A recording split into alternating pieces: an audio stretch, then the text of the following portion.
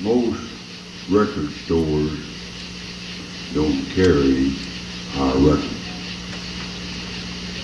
So we carry them.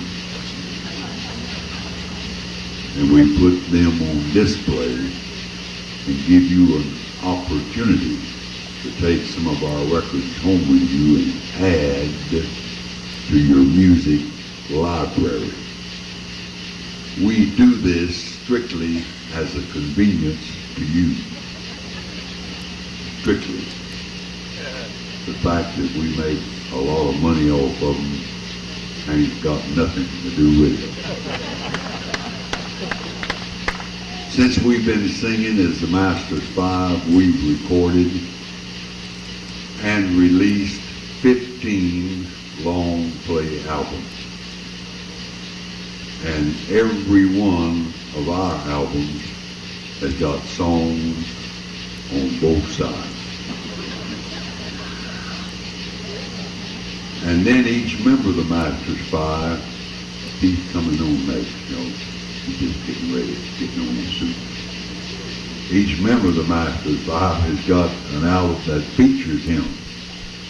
It doesn't mean it's a solo album. It is not. It's like all the rest of the albums, only features one particular person.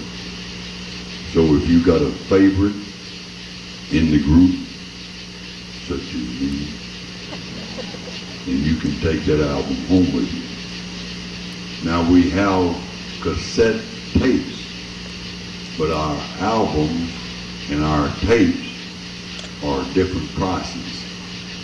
They used to be the same price, but now there's a difference in the prices of our albums and our tapes. I don't know what that is, but he looks like one of the Happy Goodman things.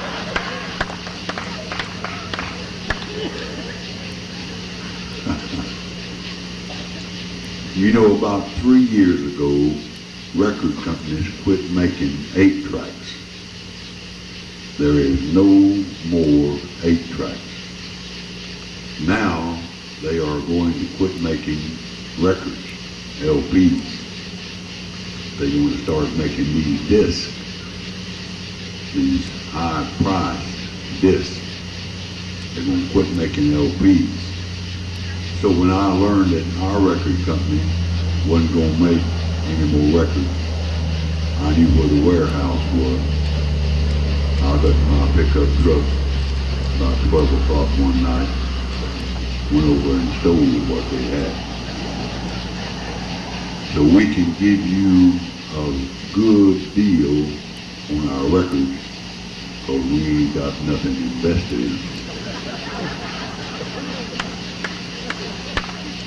So listen closely if you got a record player and if that record player is working.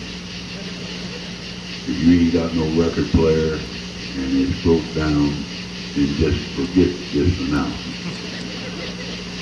But you can get one record for five dollars. One record for five dollars. You can get four records if you want as many as four for ten dollars. I think you go to Buzz too. I can. Four records for ten dollars.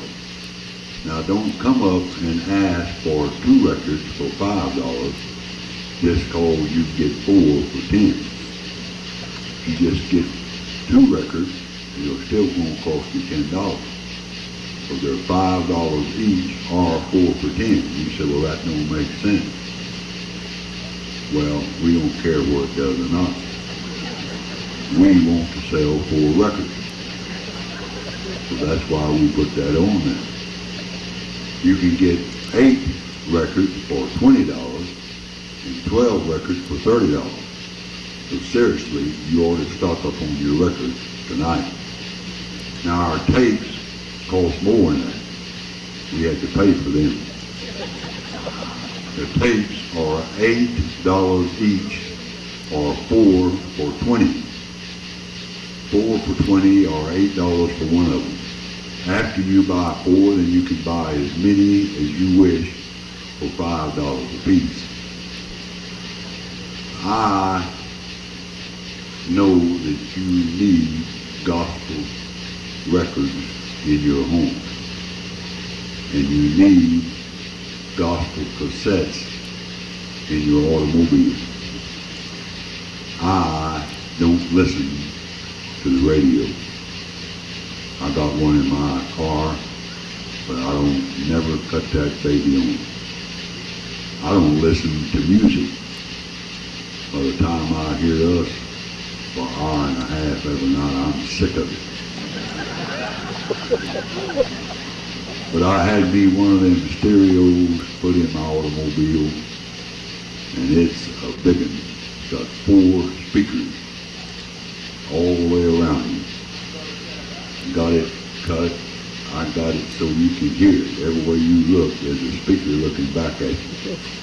And when me and my little darling, lovely, beautiful wife start to take a trip somewhere, I got me one of them Master 5 tapes. I put it in that little hole up in the dashboard and cut that jewel wide open and can't hear nothing she says. can't tell me that our tapes ain't valuable. So you men need to get you some tapes for your car. This is a song book, and the reason they call it a song book, because it's got songs in it. Price of it, five dollars. Got a lot of songs I wrote in the old country churches in it. And I know you sitting out there saying I could care less about you and your songbook. But I don't want no songbook. I don't need no songbook because I can sing. But if you'll buy you a songbook and take it everywhere you go, people will thank you for singing. I personally don't ever leave home without my songbook. Most of you a while ago heard me talking about Reverend Hovie Lister when I introduced him. Hovie Lister has been playing the piano for gospel music for a long time. He started playing the same year that White Thread came out. And he's had many honors bestowed on him, plus being in every hall of fame that a man can be in. Oh, Hovie has also been made a doctor. He is now Dr. Hovie Lister. Don't walk up to Hovie and say, hi, Hovie, baby. It's Dr. Hovie Lister. Hovie's been playing the piano a long time. I ain't been singing long enough to be no doctor.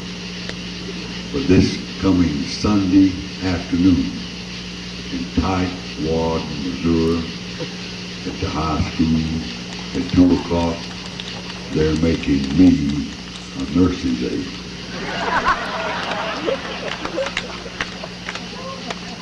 Let's give let's give this gentleman a hand for bringing gospel music to this beautiful park. Right. Don't forget now, get your tickets up here. We're going to